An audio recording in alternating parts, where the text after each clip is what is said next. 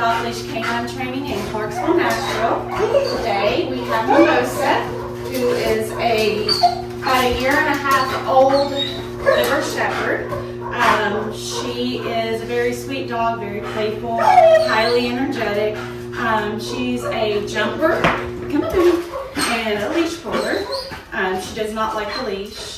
Uh, mom has her here ba for basic obedience and to stop the jumping and kind of calm her down and have her, you know, connect and that way she can take commands and pay attention. Um, so let's just see what all Mimosa knows. Hi, baby. Hey, can you sit? Oh, can you sit? That's a good girl. That's a good sit. I know, baby. I know. Come on. Hey, you. oh, oh, oh, hold on. Oh, there you go.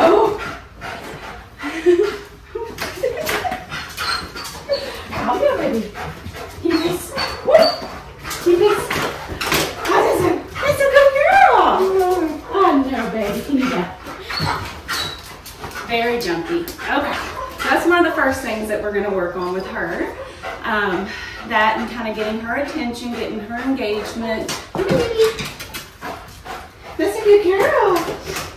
That's a good girl. All right, guys, so just check back in two short weeks to see what all Mimosa has learned.